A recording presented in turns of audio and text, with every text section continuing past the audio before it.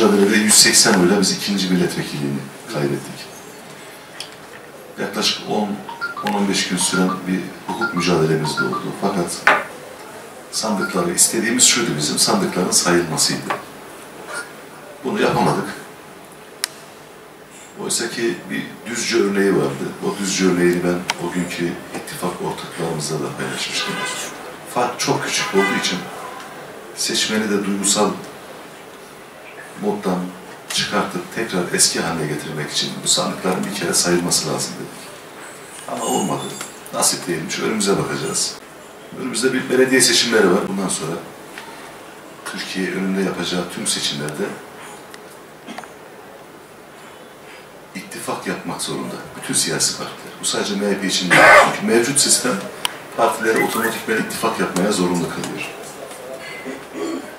Belediye seçimlerinde de aslında ittifak olmasa da olur ama halihazırda milletvekilliği ve cumhurbaşkanlığı seçimindeki ittifaklar çok canlı olduğu için muhtemelen o ittifaklar bu seçimde de vücut bulacak.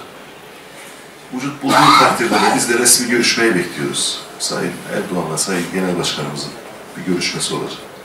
O görüşme neticesinde muhtemelen ki Hatay'da da bir ittifak yapılacak. Bu ittifakla Cumhur İttifakı diye nitelendirdiğimiz Milliyetçi Hareket Partisi ve AK Parti arasında gerçekleşecek.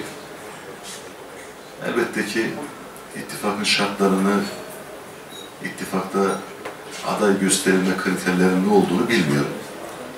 Ama şunu iyi biliyorum, fırsat elimize geçtiği takdirde gerçekten bu vatanı milleti için hizmet edecek. Seçildiği andan itibaren de memleketi ikiye ayırmak değil, bütününü kucaklayacak. Tabirimi yanlış anlamayın, fakir fukara babası da aynı zamanda olacak. Şehrimize yatırım getirme noktasında da mahir bir insan. İşte bu noktada tüm eleştirilerimizi inşallah tüm Hatay adına ittifakta bulunduğumuz e, partiye de inşallah ifade ederiz.